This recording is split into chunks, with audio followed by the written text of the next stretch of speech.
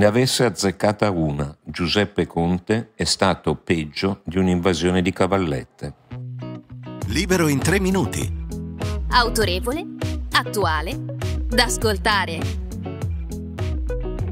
Come Giuseppe Conte abbia potuto diventare premier di questo paese resta uno dei grandi misteri della storia recente. Le poche cronache disponibili narrano che Conte è il vincitore di un casting messo su in fretta e furia da Luigi Di Maio e Matteo Salvini, ansiosi di andare al governo pur di andarci. Casting, la cui finale avvenne in un albergo di Milano una sera della tarda primavera del 2018 e la spuntò proprio l'avvocato in pochette nonostante un curriculum leggermente taroccato e alcune beghe fiscali aperte.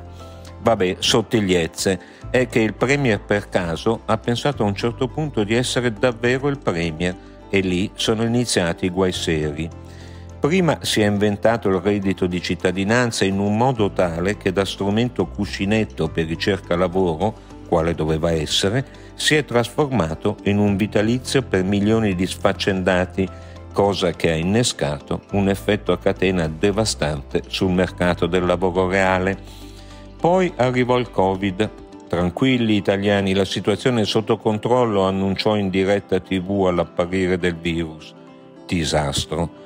Disastro aggravato da ordini e controordini che provocarono stragi e poi il caos mascherine e poi la farsa dei banchi a rotelle e poi la segregazione eccessiva degli italiani e poi la campagna vaccinale che non partiva e poi finalmente Mario Draghi a mettere una pezza a tanto casino.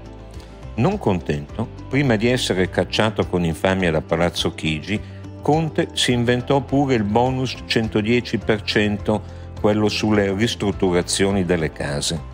In teoria una genialità per far ripartire l'edilizia e da lì l'intera economia. Solo che la carta è stata scritta talmente male che altro che case da ristrutturare, c'è mancato un pelo che saltasse per aria l'intero paese, le banche e lo Stato, chiamati a garantire soldi che in realtà non esistevano e non esistono. Insomma, un buco da 110 miliardi nei conti del paese che se non arrivava, è notizia di ieri, Giorgia Meloni a metterci una pezza, qui davvero viene giù tutto. Conte, insomma, è davvero un perfetto 5 Stelle, cioè incompetente, più elegante e forbito di Danilo Toninelli, ma altrettanto incapace arrogante come il non compianto ministro della giustizia Bonafede, anche se un po' più subdolo. Ah, dimenticavo. Per un attimo il PD ha pensato che sarebbe potuto essere un buon leader di tutta la sinistra. Beh, in effetti lo standard di qualità è proprio quello lì.